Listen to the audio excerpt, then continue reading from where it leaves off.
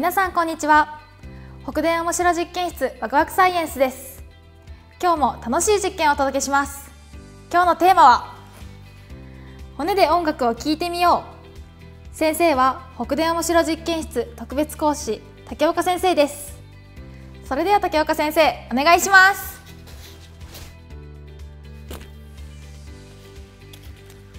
皆さんこんにちは。竹岡和弘です。音楽は耳で聞くもので骨で聞こえるわけないでしょうと思われていることと思います。まず耳を指でしっかりと塞ぎます。そして声を出してみます。ああああ皆さんには私の声が聞こえていると思いますが私にはいつもと違う自分の声が耳の奥の方から聞こえてきます。耳をしっかり塞いでいても自分の声を聞くことができるのはなぜでしょうか？今日はこの不思議な出来事について実験を通して解決していくことにします。今回の実験に使う材料は次の通りです。割り箸オーディオ接続コード。両端にミニプラグのついたもの。模型用モーター 1.5V タイプ。スマートフォン耳栓セロハンテープ。そして霧です。実験の手順を説明します。霧を使って割り箸の先にモーターの軸が入るくらいの穴を開けます。モーターの2本のリード線の先を2センチほどむき出しにし接続コードの片方のプラグに巻きつけてセロハンテープで留めます。接続コードのもう片方のプラグをスマートフォンのイヤホンジャックに差し込み聴きたい音楽を流します。割り箸の穴にモーターの軸を差し込み割り箸を刃で噛みます。この時モーターの軸が割り箸から抜けてしまわないように指でモーターを支えます。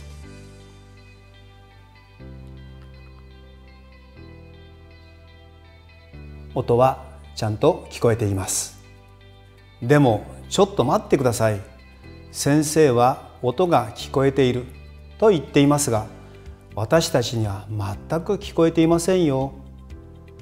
と思っているのではないでしょうか。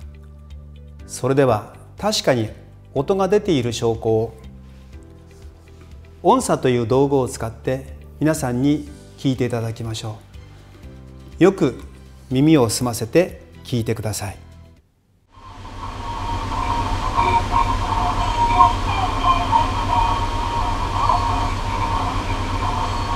どうですか？聞こえていますよね。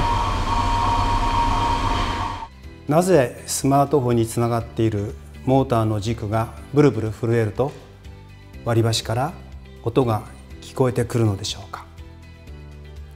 私たちが普段聞いている音は耳から入ってくる空気の震えです。空気を伝わってくる音が鼓膜を震わせ鼓膜の内側の内耳と呼ばれるところで音を感じる神経に伝えられます。割り箸から音が聞こえてきたのは音の震えが顔や頭の骨を通って鼓膜を通さずに内耳に直接伝わったからです。このような骨が音を伝える音の伝わり方を骨伝導と言います。スマートフォンの音が電流となってモーターの中のコイルに流れコイルを震わせその震えがモーターの軸を通して割り箸を震わせます。そして割り箸を噛んでいる歯から頭蓋骨に伝わって内耳に届き音になって聞こえてくるのです。音叉から音が聞こえたのも音叉が骨の役割をしていたからなのです。自分の話し声は皆さんいつも聞いていますよね。この話し声は空気の震えと骨伝導の両方が合わさったものなのです。耳をしっかり塞いでいても自分の声が耳の奥の方から聞こえてくるのは実は骨伝導のためだったのです。ビデオやボイスレコーダーで録音した自分の声を後で聞いた時いつもの自分の声と少し違って聞こえたという経験はありませんか？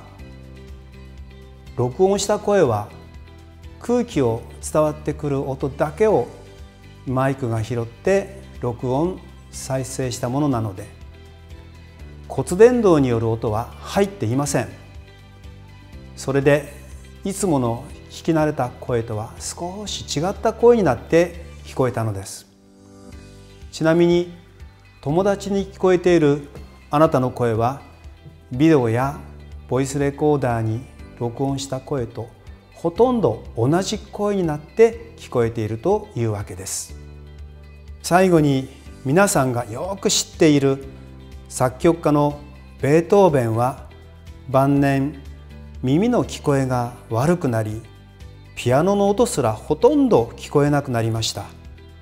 そこで彼は口に加えた指揮棒を直接ピアノに押し付けて音を聞き取り作曲活動を続けたと言われています。これで今日の実験を終わります。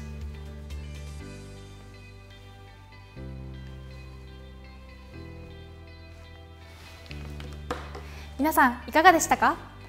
骨で音楽が楽しめるなんて驚きましたね。また見てくださいね。